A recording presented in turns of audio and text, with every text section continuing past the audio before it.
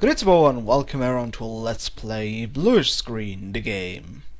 Nah, of course not. We're going to play a good old NES game. I played LP a really while ago, the second game of this series. And that was back then my favorite childhood game. This one never happened to play as a kid, but still actually it's a quite likable game. Uh, anyway, promised someone to LP it once, uh, once I get to it, and well, since I'm working on other projects, I might as well also do something else LP-ish. And this game is Adventure Island 3, yeah, as you may obviously read from the title, duh. Anyways, there's not much to say. Pretty late in the NES era, made by Hudson Soft, and here we have the, the beautiful map with all different potential levels. We have here our item select screen, which is totally empty, of course. Anyways, let's jump right into the action. We are Master Higgins, an island guy who can jump, walk, and duck in the third term. I emphasis on that because I... That's something that, that I really missed in the second part. You can also see that we have a health uh, time meter up there which you can fill up by eating. So it's pretty much his hungry meter. Here we have our first enemy. Ah! Yeah, really scary, isn't it? They are a little bit, uh, in the second game they looked a little bit less cute. I have to say the, the graphics here in general are a little bit cutie-sized. Also, rock. When we trip over it, we lose time. In other words, it makes us hungry. Also, you can he hear that shooting sound. If you hear that, there's a secret egg that you can reveal by jumping. And we can play one of these really awkward mini games. This is this one is a new in the third game. The other, the second game only had these uh these spring mini games, which you all which is also in the third game. And this surfing is really hard, I have to say. It took me ages to get this to get this done because you always tend to slip off the wave. You're almost drowned. But we get a beautiful reward when we make it perfect. And that is this wonderful little gem. It gives us basically an extra hit because we only have one currently as Master Higgins. This is a skateboard. You get it if you um, find an item which you already have, which means if I in there was tomahawks and already have tomahawks, so I get a skateboard instead. I know it doesn't make a whole lot of sense, but it gives us A an extra hit. But otherwise, it's more hit. It's more awkward than actually anything else. Anyways, on to the second level the bottomless pit, which has... I have to say the second game has a really awkward... Uh, uh, third game has a really stupid soundtrack, just listen to it. I don't like it in particular when you uh, compare it to the second game. Here's a little... Yeah, here's a little clip from the second game. You see, it's... It just sounds more like actually in a cave area. It, it just it just sounds better to me. Also, you can see a little bit the change graphics. We will see some skulls which actually look like skulls. They look more threatening than in the in the than in the third game. These are actual skulls. That one looks like a I don't know kid show pirate ship, whatever. Anyways, back to the game. Here we have a boomerang. Boomerang is the second, uh, the alternate weapon you can have, which wasn't in the third game. It's actually pretty darn useful. It can kill several enemies, but you only have one shot, sadly, so if you miss you have to wait until the boomerang returns, but you can also destroy rocks. And there we go, we have a spade. And spade gives us this wonderful little dinosaur body.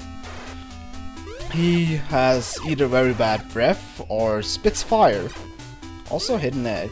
His special ability is that he can run in lava without getting hurt, which is darn useful in some stages.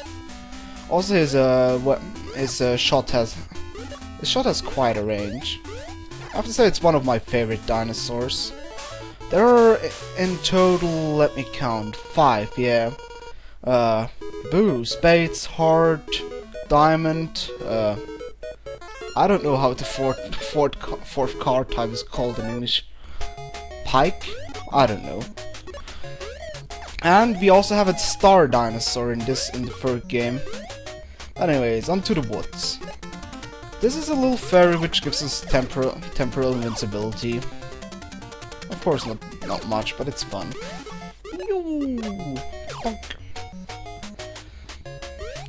Also, these are springs. They actually more appear in the bonus levels than anywhere, anywhere else. Yeah, this is the Star Dinosaur. He can do...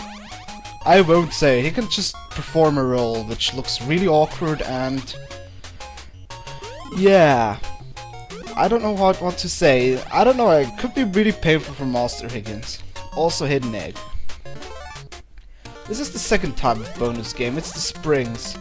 And boy, I can tell you this is really awkward in the third game because you mostly can't really see where you're actually jumping. So it's more actually more more luck than anything else. Or just memorizing the pattern, which I got pretty easy pretty good down here. Also again, if you could score a perfect on this bonus stage, you could you would get a a crystal at the end, but I missed some fruits, that's why I don't get anything. Except the two additional dinosaurs I got, of course. Anyway, moving on to the Abyss. Oh boy, the Abyss. Swimming levels, of course, mandatory in every game. And here we have the Diamond Dinosaur. He doesn't have any attacks, sadly, but he's a really good swimmer. It makes the swimming levels a little bit less painful. Also, we have weird, weird looking fish. We have uh, squids. Yeah, I would say squids, I don't know. And soon comes up... No, not yet. These are bubbles. These are actually quite gimmicky. If you're only Higgins, you get stuck in, in them. Also, bunny in the bag. Yeah, of course, it doesn't look like a bunny in the bag, but the sprite from the second game looked like a bunny in the bag. Also, we have seahorses, which can actually take two hits for some reason. It looks a little bit odd if they get colored pink.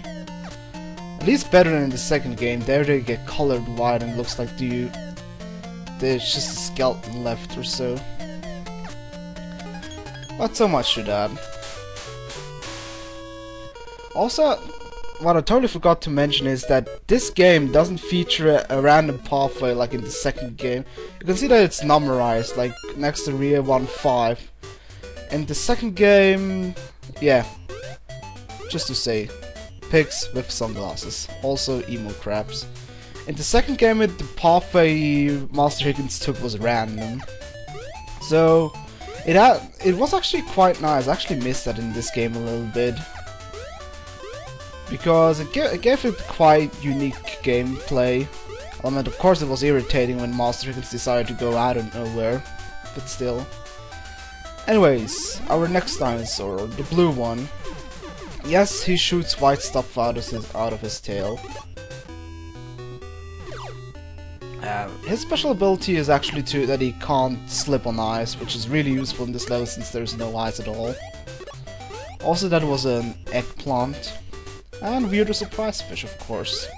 Not that weird anymore, but still surprising. Uh, where was I? Boy, I have so much to explain and I have barely time to do so. Blah. Anyways, moving on to the boss level. And it's in the desolation. I actually like these type of levels, mainly because of the soundtrack, because it just sounds, well, deserty. Of course. But levels aren't actually that hard. It has a quite amount, quite high amount of special enemies like these. No, these falcons are also in other levels, but for example, these Desert Runners and Scorpions, of course. They all been cutie sized again, sadly. Also, you can can sink in the uh, in the quicksand. That's actually the special ability of this dinosaur. He can't sink in uh, can't sink in quicksand, which is not that big of a great ability. Also, kangaroos, because it's so appropriate to find them in the desert. Many people actually really dislike this dinosaur for some odd reason. I actually find him quite useful. The only problem he has is that he's really awkward to fight bosses with, which I have which I have to do here. The problem is I can only attack him with rolling, and that's it just requires good timing. And the problem is, yep, the projectiles. It's just way easier to just spam him with some uh, tomahawks and that's it. And first boss done. They got a little bit more uh, creative later on, but anyways. Well, we see us in the next episode when we tackle World 2. Je suis Gosh Love. Au revoir!